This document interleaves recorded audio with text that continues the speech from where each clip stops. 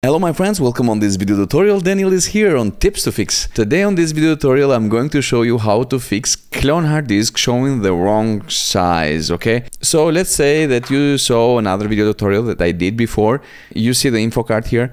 So uh, related to this video tutorial, I'm doing this video tutorial to explain you now how to extend the full partition if your new SSD drive or new hard drive is bigger than it was before, than you did cloning from the smaller drive to newer one, bigger drive. The new SSD drive now is one terabyte and then your old SSD or old hard drive was 500 gigabytes, new SSD drive will show you the exact the same size, then you lose half of the disk. Today on this video tutorial, I'm going to cover this. I'm going to fix this very easy for you guys.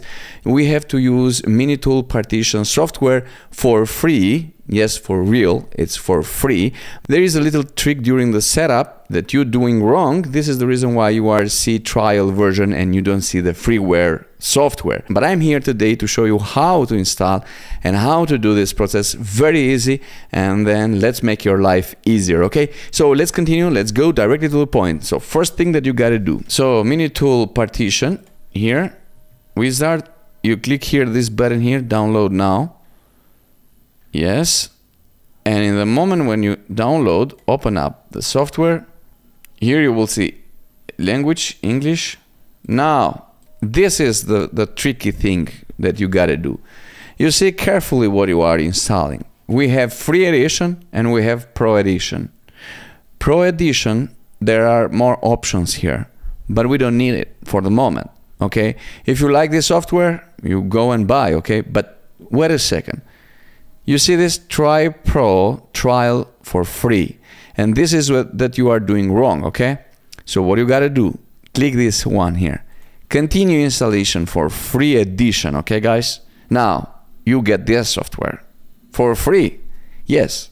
Let's continue. Next. Then I want this Minitool partition wizard. Free Minitool shadow maker. I don't need this. I will click here. Next. Then click yes. Now we have freeware installed on my computer. Click this finish here. Then you will see this software now is full. What we gotta do? Let's say I have this SSD drive, the one that you clone, okay? This is your system and now you have unallocated space here for, let's say 240.8 gigabytes.